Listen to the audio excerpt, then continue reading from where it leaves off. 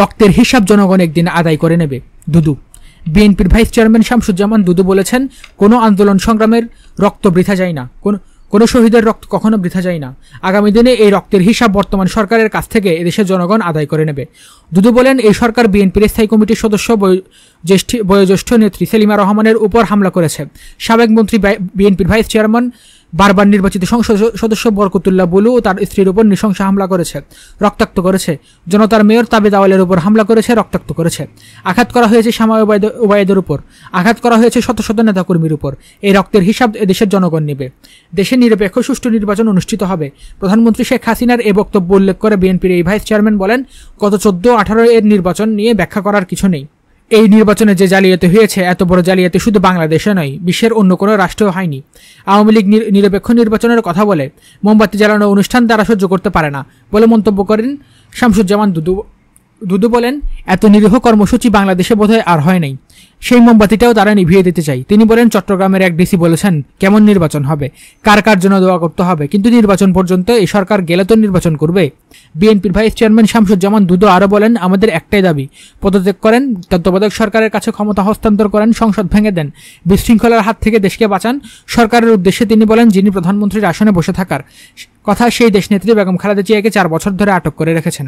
যিনি বাংলাদেশের সবচেয়ে জনপ্রিয় নেতা তারেক রহমান, যাকে তাকে লন্ডনে থাকতে বাধ্য করছেন। বিএনপির সাথে কুকুর বিড়ালের মতো আচরণ করছেন। যেখানে যাকে খুশি মারছেন, বাড়িতে ঢুকে জিনিসপত্র লুটপাট করছেন। বিরোধী দল যেন ঘরের বউ, যা খুশি তাই করছেন। এর পরিণতি ভালো হবে না। বাংলাদেশে এর নজির আছে, বিদেশেও এর নজির আছে। যারা অত্যাচারী ফিসিস্ট, তারা তাদের বিদায় পরিণতি অনেক ভয়াবহ হয়। অতি সত্বর অবশ্যই তত্ত্বাবধায়ক সরকারের অধীনে নির্বাচন হবে এই মন্তব্য করে এই সাবেক এই সংসদ সদস্য বলেন, যারা জোর করে সংবিধান থেকে তত্ত্বাবধায়ক সরকারের এর বাতিল, তত্ত্বাবধায়ক সরকার বাতিল করেছে, তাদেরও বিচার হবে। এমনি এমনি তত্ত্বাবধায়ক সরকার আসে নাই। আপনারা কলমের খোঁচাই দা বাতিল করে দেবেন, আমরা এমনি এমনি মেনে মেনে নেব, তা হবে না। এই বাঙালি জাতি তা মেনে নেবে না। শামসুজ্জামান দুদু বলেন, সামনে তত্ত্বাবধায়ক সরকারের অধীনে নির্বাচন হবে। তার জন্য এক সাগর রক্ত দেওয়া লাগলেও দেব। স্বাধীনতা ও গণতন্ত্রের জন্য যেমন এক সাগর রক্ত দিয়েছি, এদেশের দিয়েছে এদেশের মানুষ, ঠিক তেমনি আবার এদেশে গণতন্ত্র প্রতিষ্ঠার জন্য প্রয়োজন হলে আরও রক্ত দেব। তবুও ফেসিবাদকে দেশের জনগণ মেনে নেবে না। পাশাপাশি শ্রমিকদের দৈনিক তিনশো টাকা মজুরির দাবি বাস্তবায়নের জন্য কর্তৃপক্ষকে যথাযথ পদক্ষেপ নেওয়ার আহ্বান জানান। উপস্থিত নেতাকর্মীদের উদ্দেশ্যে তিনি বলেন, আয়নাঘরের কথা শুনেছেন না। আয়নাঘর এখন ভূতের ঘর, আতঙ্কের ঘর হিসাবে সারা দেশের মানুষের মুখে মুখে।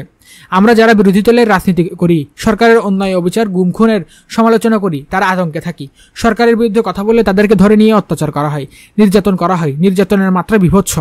এতে রক্তের এত রক্তের বিনিময়ে অর্জিত স্বাধীন স্বাধীন বাংলাদেশের আয়নাঘর হওয়ার কথা ছিল না। এই ঘরে তো বিরোধী দলীয় নেতাদের নিয়ে অত্যাচার করার কথা ছিল না। আওয়ামী লীগ জাতিকে বিভক্ত করেছে মির্জা ফখরুল। বিএনপি মহাসচিব মির্জা ফখরুল ইসলাম আলমগীর বলেন, দেশের রাজনৈতিক অঙ্গন এখন নষ্ট হয়ে গেছে। কলুষিত হয়ে গেছে। বাংলাদেশের রাজনীতি কাঠামো ভেঙে পড়েছে। নির্বাচনের মাধ্যমে সরকার গঠন করার নিয়ম থাকলেও সেই নির্বাচন জনগণ অংশ নিতে পারে না। মাঝহারুল আনোয়ারের স্মরণে রাষ্ট্রীয় কোনো উদ্যোগ না থাকাই। আক্ষেপ করে মির্জা ফখরুল বলেন, তাকে স্মরণ করার জন্য রাষ্ট্রীয়ভাবে উদ্যোগ গ্রহণ করা প্রয়োজন ছিল। কিন্তু এমন দেশে বাস করি, এমন রাজার রাজত্বে বাস করি, যারা এই দেশকে বিভক্ত করে ফেলেছে। দেশের সব অঙ্গনে বিভক্তি। তিনি বলেন মাছারুল আনোয়ার অনেক গুণের অধিকারী মানুষ। তার অবদান ও সৃষ্টি পাহাড় সম। তার গান চিরকাল থাকবে।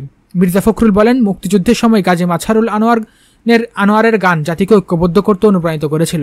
কিন্তু আওয়ামী লীগ সরকার সেই জাতিকে বিভক্ত করেছে। সব ক্ষেত্রে আওয়ামী লীগ ও বিরোধী দুই পক্ষ।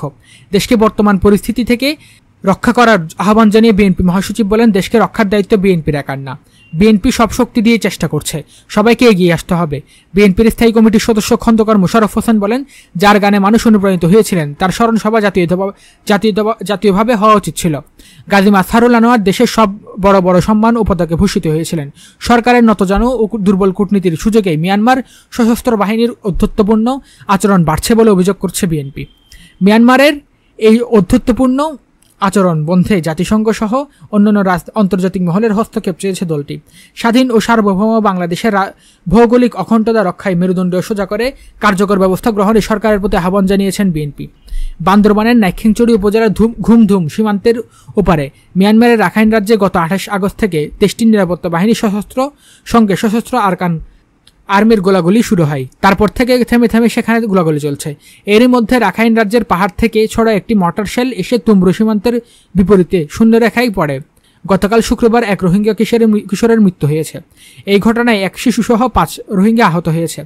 মিয়ানমারের এমন ব্যাপরীয় তৎপরতা ও নিক্ষিপ্ত মর্টারের গোলার আঘাতে নিহত হওয়ার ঘটনার প্রতিবাদ জানাতে আজ সংবাদ সম্মেলনের আয়োজন করেছে বিএনপি।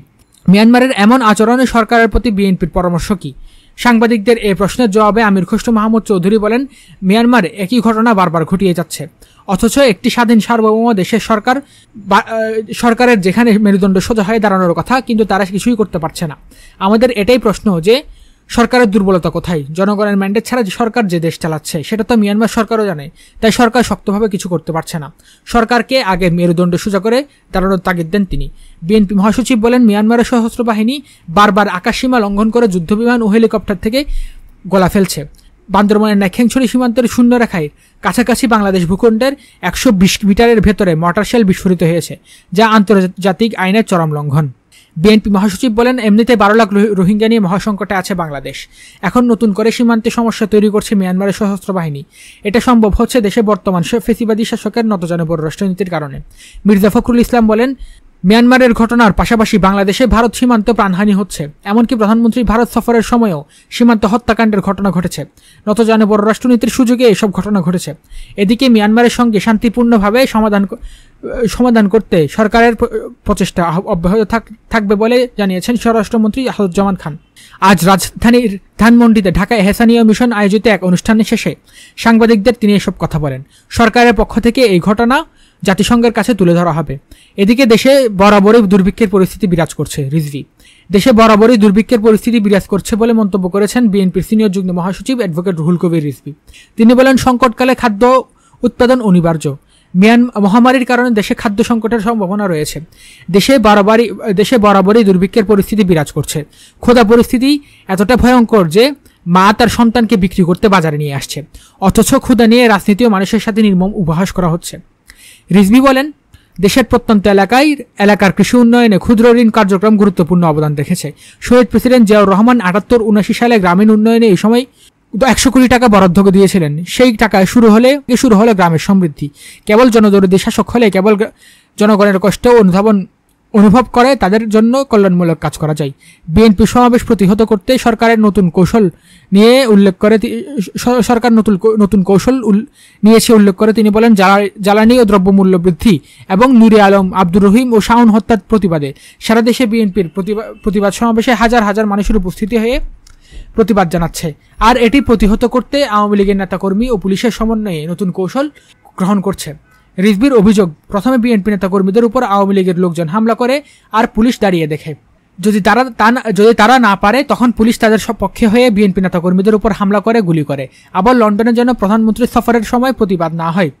এজন্য যুক্তরাজ্য বিএনপির সাধারণ সম্পাদকের গ্রামের বাড়িতে অগ্নিসংযোগ করা হয়েছে, যা সরকারের শীর্ষ পর্যায়ে নির্দেশই হয়েছে। তবে এভাবে আন্দোলন বন্ধ করা যাবে না। আওয়ামী লীগ সাধারণ সম্পাদক ওবায়দুল কাদেরের বক্তব্যের সমালোচনা করে রিজভি বলেন, গতকাল আওয়ামী লীগ নেতারা মিথ্যার কোরাস গাইছেন।